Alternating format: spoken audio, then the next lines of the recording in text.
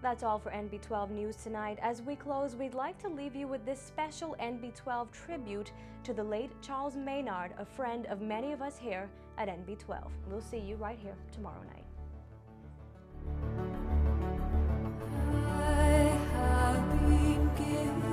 I'm so grateful to be here this evening.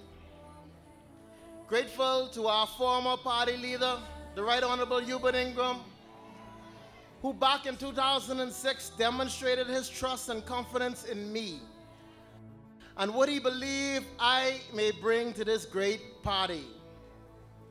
When I and my colleagues from the Coalition for Democratic Reform sealed our fate with the Free National Movement, I am so grateful for having the opportunity to serve in an FNM government to represent the wonderful constituency of Golden Isles.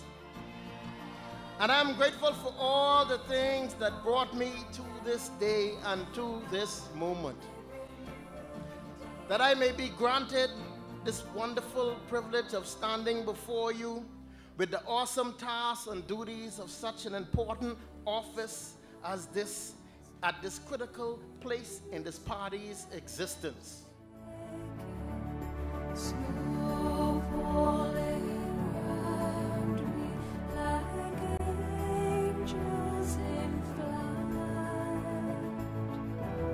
It's going to be difficult. Um, I, I can be honest with you. Um, my my wife and immediate family had to take a deep breath in terms of, of, of, digesting the whole thing and realizing that coming off of being a, a, minister in, in government that, that was not a nine to five scenario where, where I was going, going in the evenings and the, in the, in the weekends and so on.